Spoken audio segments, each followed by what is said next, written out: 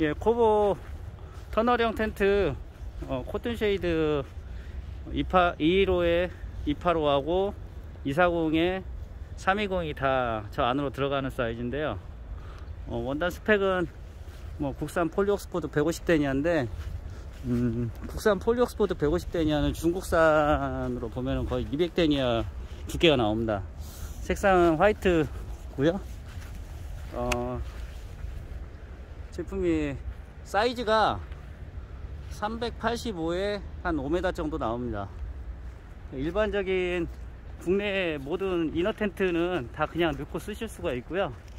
어, 국내 제작이고 폴은 폴은 60 6하나 16파이 어, 그 다음에 우레탄 창은 양쪽으로 두 면 그 다음에 메시망이 양쪽으로 두 면 이렇게 들어가 있고요. 아, 좀 약간 그때 어, 처음에 샘플하고 달라진 점은 이 폴리 옥스퍼드 원단이다 보니까 이 슬리브를 처음에 여기까지 했었는데 조금 넓게 잡았어요. 그래야지 바람의 영향을 덜 타고 각이 잘 나오고 저 가운데 string 당기는 데가 없었는데 가운데 string 당기고 그 다음에 이쪽에 이제 좀 바람이 더 강하라고 string 당기는 걸 하나 더 늘렸고요. 약간 이렇게 주름이 생기는 거는 잘못 만들어서 그런 게 아니고 슬리브 봉제를 하다 보면 미싱이 어쩔 수 없이 말려 가지고 완벽하게 막 팽팽하게 펴줄 수 없어요 면처럼. 폴리 원단입니다 그 다음에 여기 어, 랜턴 걸이. 지금 실내인데요. 상당히 높습니다. 여기가. 일반 living shell 크기만 해요.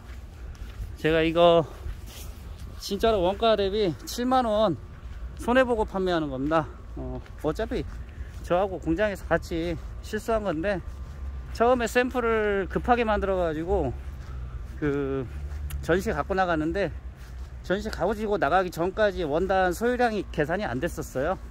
그래서 저는 이 원단이 지금 국내 원단이라 어, 3,700원짜리 원단 아니 2,700원짜리 원단이었는데 20야드 계산 조금 더 하고 어, 제품을 생산을 했는데 막상 생산을 해보니까 거의 40야드가 들어가더라고요. 사이즈가 커지다 보니까.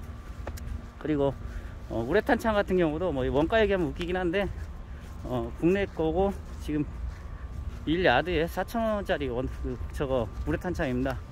폴대도 마찬가지로 처음에 제가 재고를 많이 갖고 있던 13파이짜리 어, 70계열 그 중국에서 수입한 폴대를 쓰려고 했는데 어, 텐트 스펙이 커지다 보니까 사이즈가 커지다 보니까 바람에 영향을 좀 많이 받더라고요. 그래서 어, 60폴 국내 폴로 바꿨습니다. 왜냐면 덜 흔들리라고 바람에.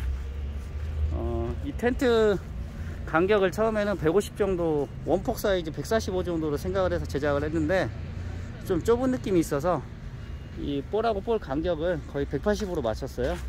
그러다 보니까 이제 사이즈가 커지니까 어, 폴을 좀 강한 걸 써야 되겠더라고요. 아니면 폴이 한 번 더 들어가든가. 그리고 원형으로 이렇게 만든 이유는 제가 하도 비세는 거에 노이로제가 걸려 가지고 아주 간단한 심실링이 편하고 누수가 없는 형태로 제작을 하기 위해서 이 형태가 제일 어, 무난한 형태거든요. 그래서 이렇게 제작을 했고 뭐 측면에 뭐 또 문을 만들어 달라고 하신 분들이 있는데 어, 텐트를 만들어 보니까 이 측면에 이 출입문을 만들면 지퍼가 이렇게 들어갈 수밖에 없습니다. 지퍼가 들어가면 아무리 잘해도 지퍼 쪽으로 물이 떨어질 수밖에 없어요. 그러면 또 올 여름과 같은 악몽이 재현될까 봐서 안 했는데 출입문을 하나 더 만들 수도 있긴 해요. 그리고 미리 공지를 하고 어, 이쪽 지퍼 쪽으로 물이 스며들 수가 있다. 공지를 하고 판매를 하면 되는데 우리 캠니니 분들은 그런 거를 잘 이해를 못 하시더라고요 어, 플렉스나 이런 것도 보면 출입문 쪽으로 지퍼 쪽으로 물이 들어오는 거는 어쩔 수 없는 현상인데 어, 그런 걸로 반품 들어오고 하니까 어, 웬만하면 불량 불량이라기보다는 누수 쪽으로는 완벽하게 제품을 좀 만들려고 이렇게 제작을 하게 되었습니다. 이게 아마 상시가는 30만원대가 넘어가야 될 것 같습니다. 그것도 원가예요. 저는 뭐 장사하다 보면 손해볼 수도 있다고 생각을 하고 하다 보니까 그냥 이번에 그 전시회 때 사신 분들은 다 제작을 해서 보내드리는데 솔직히 다 환불을 하고 다시 하고 싶더라고요 누가 뭐 손해보고 장사 시켰어요. 뭐 한 달, 뭐 웬만한 월급쟁이 본 것보다 더 많이 나- 손해를 보는 건데, 그냥 전시회 때 약속을 하고 예약 판매를 한 거라, 이렇게 그냥 원가 이하로 그냥 보내드리기로 했습니다. 이게 아마 면이었으면, 국내에서 면으로 제작했으면 100만원이에요. 그렇다고 해서 뭐 원가가 원단에서 어마어마하게 차이 나는 것도 아닌데, 면으로 만들면 100만원짜리가 되는 거고, 폴리로 하면은 많이 받아야 40만원 밖에 못 받는 이런 제품이 되는 겁니다. 이상입니다.